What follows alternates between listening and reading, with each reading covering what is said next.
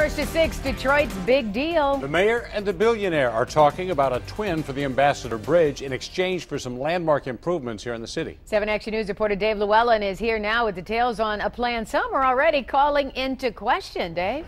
Carolyn, the mayor has negotiated for some immediate benefits for the city in the deal, but not everyone is applauding the agreement.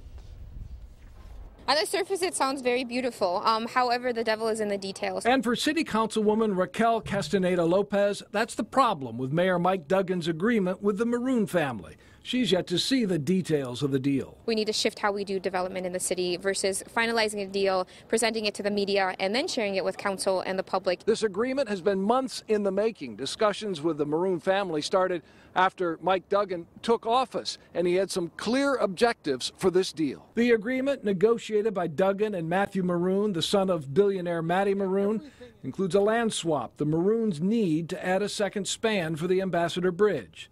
The city of Detroit will benefit through an expanded and improved Riverside Park. In addition, the Morouns are spending $5 million to put windows in the Michigan Central Depot, securing the landmark as a first step in its redevelopment. There's pushback on everything in this town. It's jobs for Detroiters, and it's continuing uh, to build Detroit at the center of an international uh, logistics hub.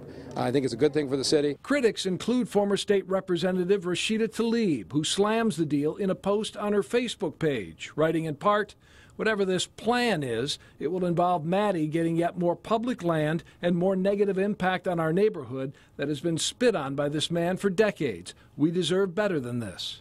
Governor Rick Snyder, in a statement through his spokesperson, said, quote, Mayor Duggan's announcement regarding the proposed Riverside Park transaction does not affect the new international trade crossing, which is proceeding full steam ahead.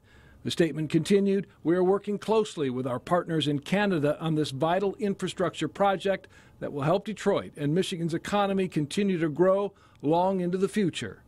Approval from Washington, D.C., as well as the federal government of Canada and City of Windsor, are all necessary before the Morouns would be allowed to add to the Ambassador Bridge.